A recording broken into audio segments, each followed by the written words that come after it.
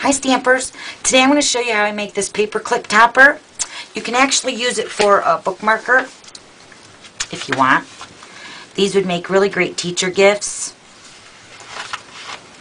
for the end of the year. Isn't it cute? Alright, so what I did is I'm going to, well I already stamped the images. I used the Tart and Tangy Orange and I stamped that in pumpkin pie. I cut that out with the one and one quarter circle punch and then I'm going to layer this onto pumpkin pie circle at one and three eighths circle punch. And then I'm going to layer this onto the Jersey Shore punch with the scallop.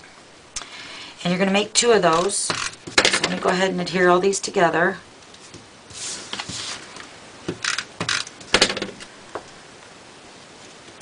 Okay, then um, you can also use this E6000, but this stuff smells so bad. It actually gives me a headache every time I use it. So I kind of thought, well, what else could we use? We're going to use the pop-up glue dots. These are the big ones.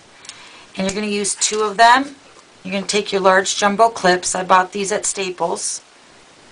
You're just going to adhere one of those to the paper clip to one side. And then you're going to adhere the scallop to it. And take another pop dot and adhere that to the back side. And then you're going to line this scallop up with the previous scallop. Let me hold this right here.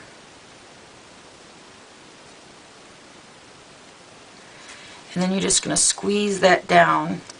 And you can adjust the scallop a little bit once you adhere that down together over the paper clip. But that's it. Isn't it cute? Alright, then on the lines of this, you could also use a pixie stick and do the exact same thing. Isn't that great? Okay, so you're going to take your pop dot, and I just got my pixie sticks. I just bought those at a dollar store. These would be cute gifts for your child's classmates. Take another one, put it on the other side, and then line that scallop up with that too, and then squeeze together. So there you go. Isn't it cute? Alright, so here's all the paper clips and the... Alright, thanks for stopping by. We'll see you tomorrow. Bye!